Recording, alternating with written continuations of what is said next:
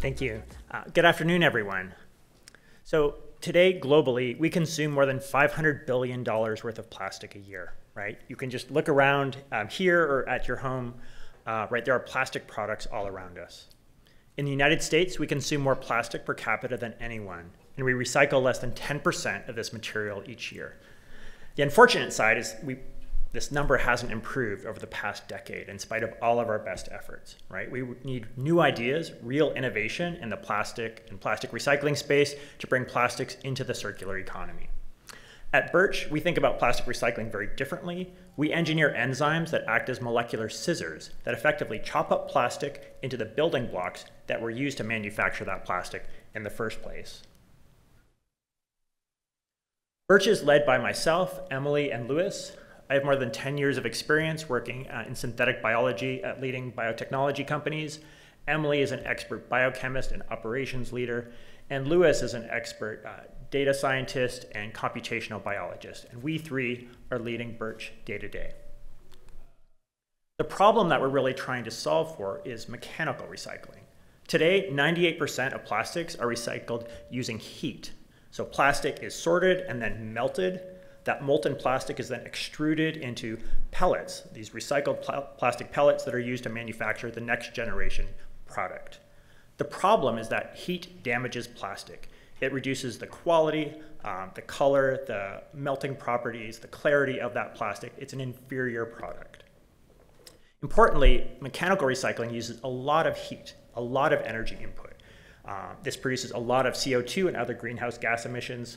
And finally, uh, more often than not, when a beverage container is recycled, it actually gets turned into a textile that never gets recycled. This is a linear recycling system, not a circular system.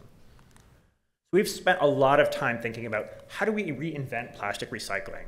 And we're really excited about enzymes because we think they can truly address the efficiency, economics, and circularity of plastic recycling. So we're focused on PET plastics to start. Um, and the way enzymes work is, is, sort of as I described, to break down the, these materials into their uh, building blocks, but they do so at low temperature. Um, that's really important that the, the, uh, the, amount of utility inputs into the process are significantly reduced. Uh, we anticipate that we'll reduce CO2 and greenhouse gas emissions associated with plastic recycling by 70%. And importantly, because we do this work at low temperature, we're not damaging the material. So it enables infinite plastic recycling, where we can go from beverage container to beverage container to beverage container again and again. So how do we do this? Conceptually, it's quite simple. We go to plastic contaminated environments and uh, scrape microbes that are, gr are growing um, on these plastics in the environment. We bring them into the lab and isolate the enzymes that are producing the circular molecules that we're interested in. We then engineer these enzymes to perform under industrially scalable plastic recycling conditions. We've thought a lot about our process end to end, and it's important to note that we don't need to reinvent the entire plastic recycling process.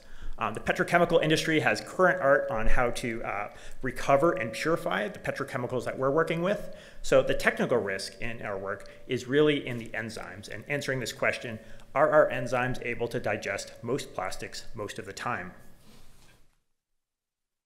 So Birch is about two years old. Uh, we really got our start uh, uh, in early 2022 uh, with SBIR grant funding.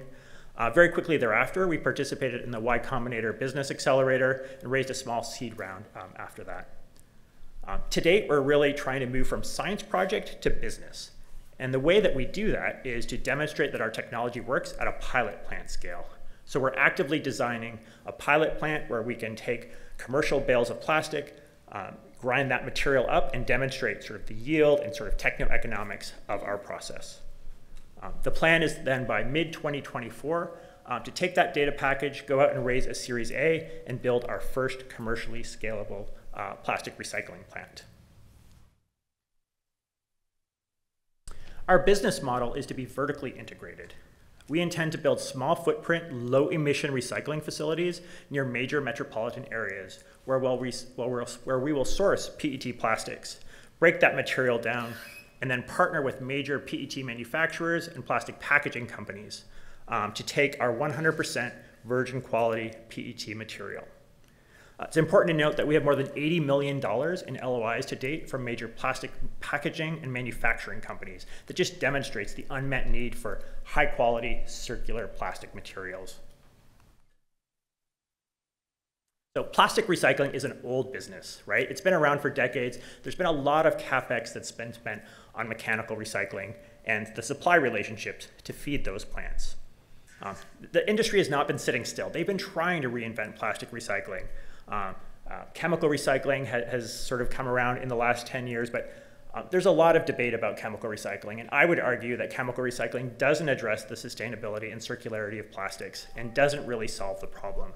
It creates a real opportunity for companies like Birch that can really function in this sort of transformational space to truly reinvent plastic recycling and bring plastics into the circular economy.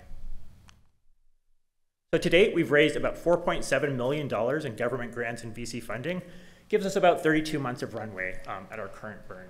Uh, we're actively raising uh, a half a million dollars to support uh, build out of our pilot plant. Um, this is really sort of an important demonstration for us uh, to be able to demonstrate to ourselves, uh, to our investors, and to sort of all of you that are um, that the economics, that the sustainability, that, that sort of the metrics pencil out for this new process. So finally, I've, I've, talked about PET plastics today, but I just want to point out that this is the tip of the iceberg. There's no reason that we can't design enzymes for additional classes of plastic um, to sort of uh, follow on from our PET work. So I'm a real believer that enzymes will drive the circularity and sustainability of plastics moving forward. Thank you very much for your attention.